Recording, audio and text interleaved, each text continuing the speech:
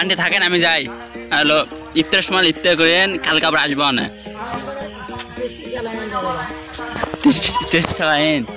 এ আমার দেয়া লাগবে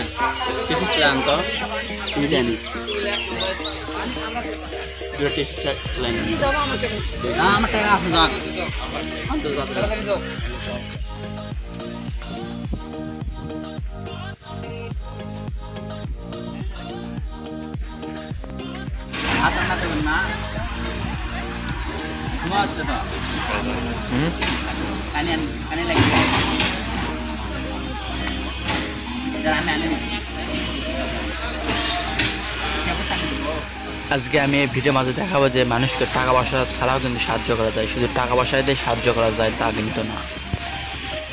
তো আমি দেখলাম জয়পুরহাটে স্টেশনের পাশে আন্টিটি রান্না করতে দেখলাম। তো আমার ফ্রেন্ডকে বললাম, চলো বন্ধু, আন্টির সঙ্গে একটু কথা বলে আসি। তো বলল, চল। আন্টির সঙ্গে কথা বলতে বলতে আন্টি বলল যে, বাবা, একটু পানি এনে দাও। তো পানি এনে দাও কিন্তু একটা সাহায্যের কাজ। অনেকে কিন্তু করতে চায় না। তো আমি আসলাম, আসে আন্টিকে বললাম, দেন। কথাবার্তা বলতে বলতে আন্টি বলল যে, পানি এনে দাও।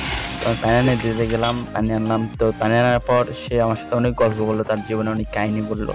অবশ্যই তার কিন্তু এসব গল্প ভালো লাগল, কারণ এসব মানুষকে সাহায্য করার সমস্যা তার সাথে একটু ভালোভাবে মিলামেশা করেন হয়তো বা আমি তাকে টাকা পয়সা সাহায্য করতে পারলাম না, কারণ আমার কাছে সেরকম টাকা পয়সা নাই, কারণ আমি স্ত্রীর মানুষ।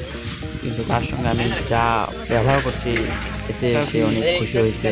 কারণ ভিডিওটা না দেখলে আমি বুঝতে পারবেন না। দেখেন তার জীবনে অনেক কাহিনী আমি শুনছি এবং সে আমাকে অনেক তার জীবনে কাহিনী শোনালে সে কীভাবে কী করে এবং কোথায় যায় কীভাবে খাওয়া দাওয়া করে কতগুলো রোজা করে ওই নামাজ কালাম পরে তো বেশি দেরি না করে ফুল ভিডিওটা দেখুন তাহলে বুঝতে পারবে।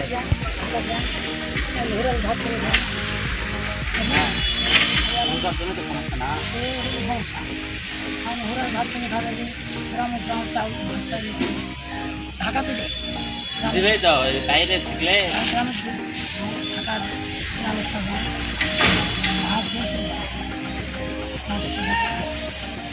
আপনার সন্তান নাই আছে কেস কিন্তু আমার ছেলে জাদু করে দেখাত করে আমার সঙ্গে কেস করে তারপরে তুমি আর কাগজ করে আসে আমার ছেলে মেয়েরা আগে বাড়ি দিয়ে চলে যাবি নাচি বাড়ির ছবি আর আমার সঙ্গে বিশাল দাম জায়গাটা আমার ঘাটে কেস কর কী দেবো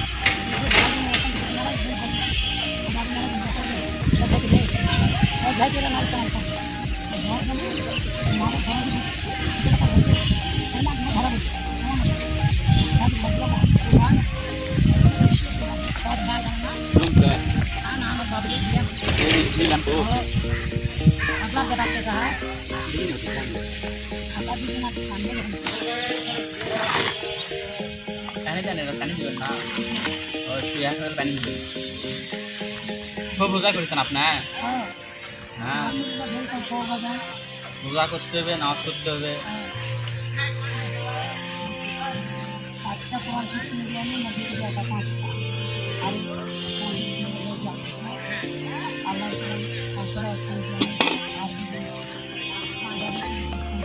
মাদ্রাসায় খারাপ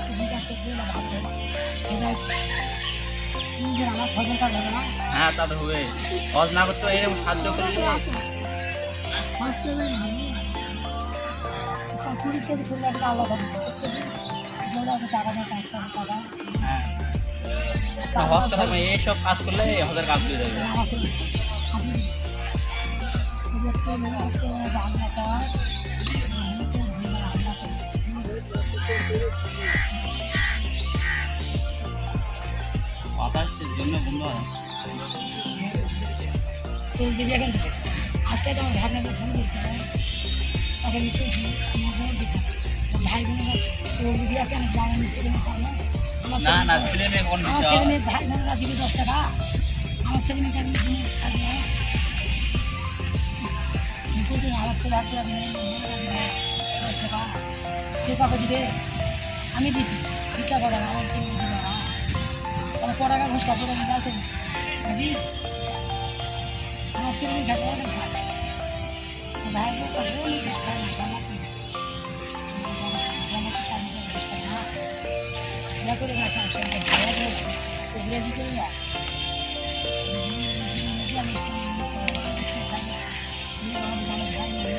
তো আন্টি থাকেন আমি যাই।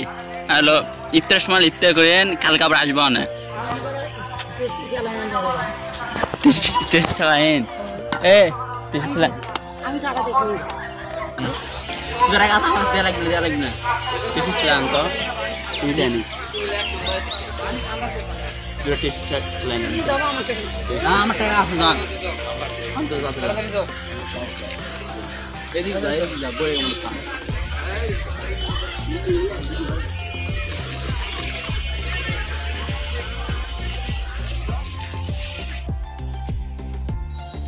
রান্না কি একবার করেন না শিওরে খাওয়ার সময় আবার রান্না করেন?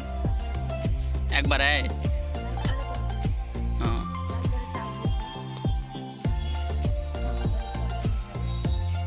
তো এখন ভাত রান্না করলে ভাত তো থাকে, খারাপ হয় না, ওর না ভালোই থাকে।